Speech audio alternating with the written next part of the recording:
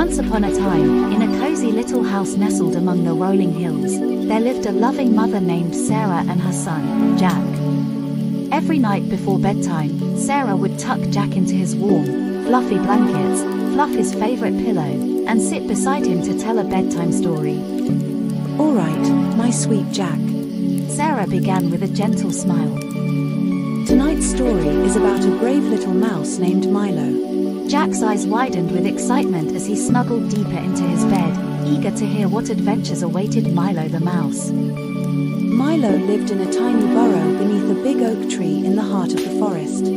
Sarah continued, her voice soft and soothing. He was small in size but big in heart, always ready for a new adventure. Milo loved exploring the forest and meeting new friends. Sarah said, her eyes twinkling with warmth.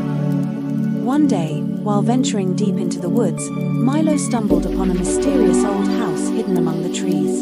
Jack gasped, his imagination running wild with the possibilities of what Milo might discover in the mysterious house. As Milo cautiously approached the old house, he heard strange noises coming from inside. Sarah whispered, her voice filled with suspense. But being the brave little mouse he was, Milo gathered his courage and ventured inside.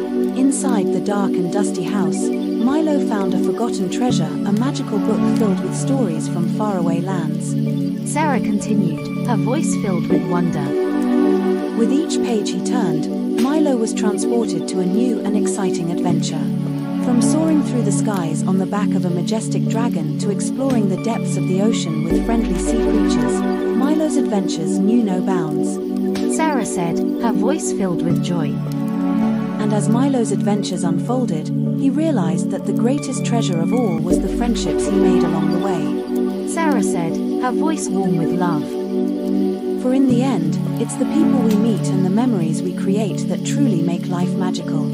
Jack listened intently to his mother's story, his imagination soaring as he pictured himself alongside Milo, exploring distant lands and making new friends.